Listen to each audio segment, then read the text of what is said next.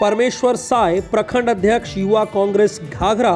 की तरफ से सभी देशवासी और झारखंड वासी को तिहत्तरवें गणतंत्र दिवस की हार्दिक शुभकामनाएं